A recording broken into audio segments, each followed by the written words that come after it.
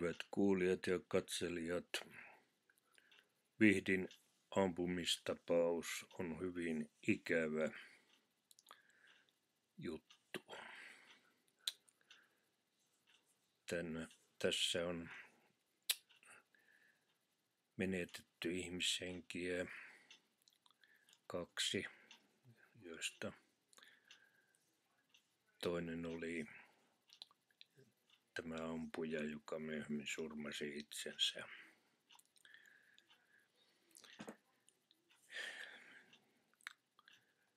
Miehellä oli, oli jotain ongelmia ja, ja noin poispäin, mutta ei se nyt oikeuta, että ruvetaan toisia tappamaan.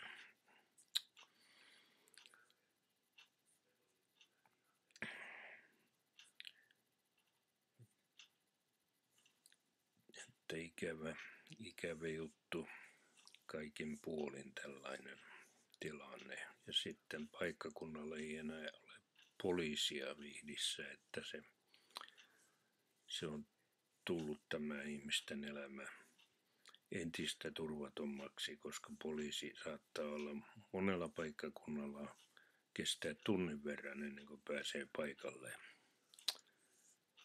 Ja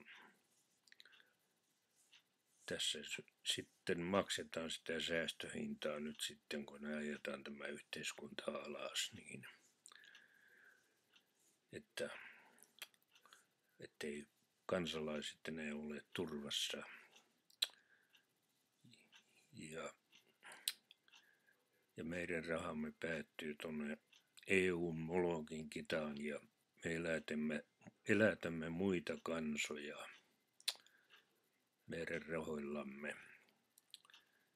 Ja omalla kansalla ei ole niin väliä.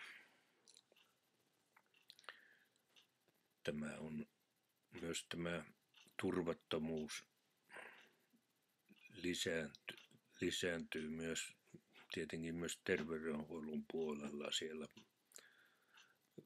kun ajetaan alas näitä palveluita ja, ja noin poispäin. Ja sitten on poliisin to, toimintavaltuuksien koko ajan niin kuin rajoitettu myös, että se muodostaa po- poliisille uhan, uhan niin kuin toimia, koska,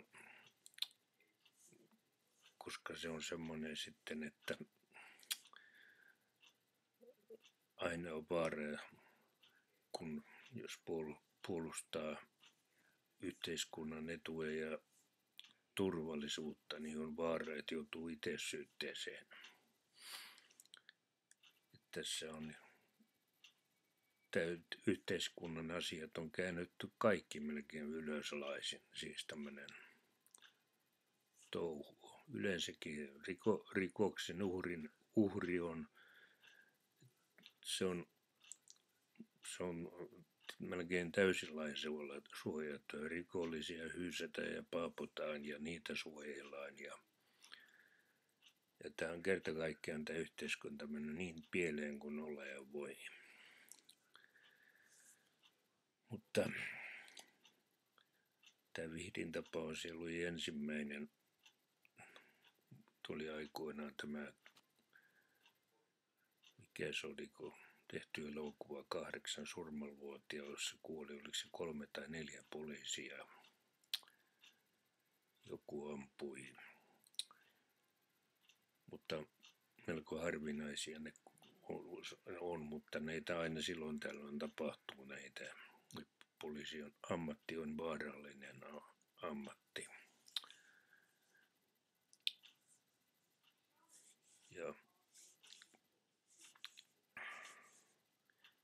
ei voi kun toivoa, että sinne vihtiin niin